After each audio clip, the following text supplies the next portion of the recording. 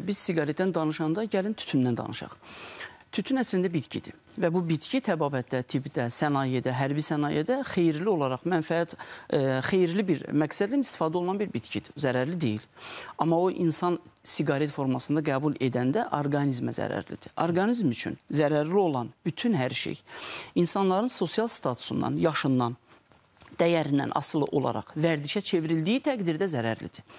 Bəli, vərdişə çevrildi. Bayaq həkim bir məsələyə toxundu. Çox peşəkar olaraq yaş dövründən siqareti hansı yaşdan başlayıblar çəkməyə. Baxın, uşaqlar atalarını qınayır ki, sən mənə qadağa edirsən, amma özün çəkirsən. Bu onun yaş dövrünə xarakterik bir cavabdır. Niyə? Axı o ata ata yaşında çəkməyib, o da yeniyetməli yaşından çəkib.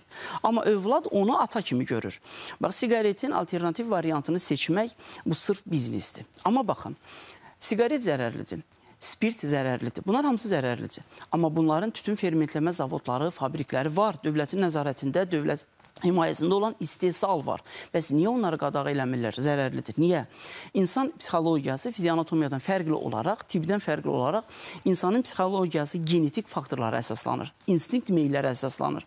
Baxın, dünyada yuxu, qida və indi biz tütündən danışırıq, tütünü götürək. Tütünün istifadə qaydaları bütün xalqlarda eynidir.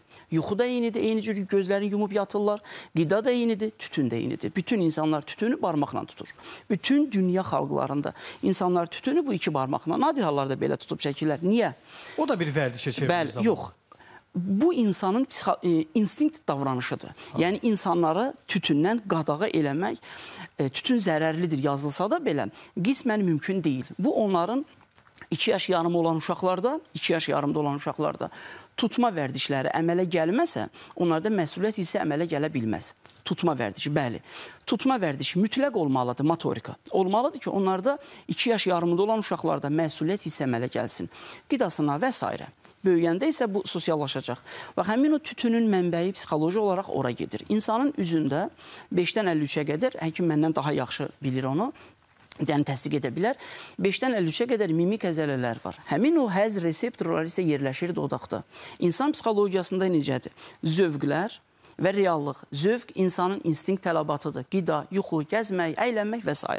Zövq və reallıq.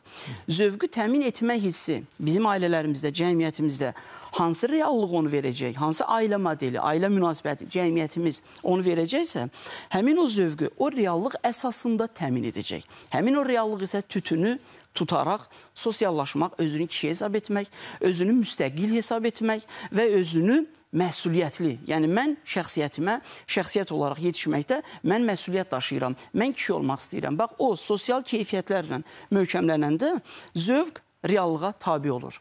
Məhz Reallığa... buna görə də bir çox hallarda yeniyetmələr ətrafı özünü göstərmək üçün, Tamamilə təsdiq etmək doğrudur. üçün siqaretə və yaxud da ki, elektron siqaretlərə meyillidir. Bəli, və orada nə əmələ gəlir? Bax, həmin o reallıq isə, deyək ki, valideyn qorxusu, valideyn tənəsi, digər-digər siqareti çəkə bilmir.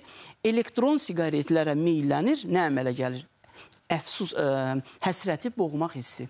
Həsrəti hər bir insan təbiətində zövq alma var. Bu onun tərbiyəsinə, intellektinə, əxlaqına və yaşadığı mühitə tabedir. Yəni zövq almaq və bəzən yeniyetmələrimizin bu hamısına aid deyil.